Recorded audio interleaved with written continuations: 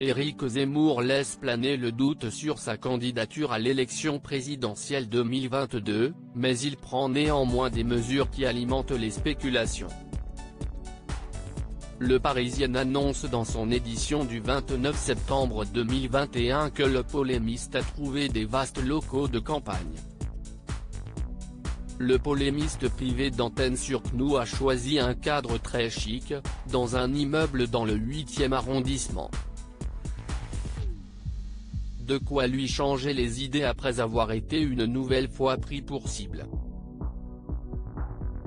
Une enquête a été ouverte dans la foulée, pour menace de mort, a indiqué le parquet de Paris à la.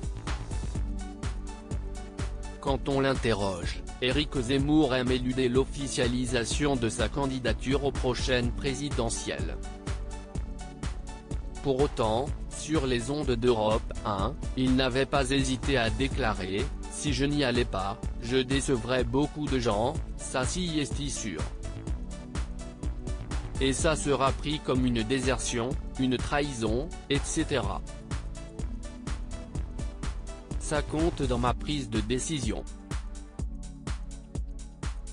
D'autant que les sondages ne cessent de gonfler son ego, avec 13 à 14% des intentions de vote au premier tour, le mettant au même niveau que les candidats LR. Alors pour ne pas décevoir ses soutiens, l'ancien sniper dont n'est pas couché s'organise très activement en loin des locaux qui se veulent très chics. Selon les informations du Parisien, ceci se trouve rue Goujon dans le très chic 8e arrondissement de Paris, à deux pas des Champs-Élysées. Et de l'Élysée.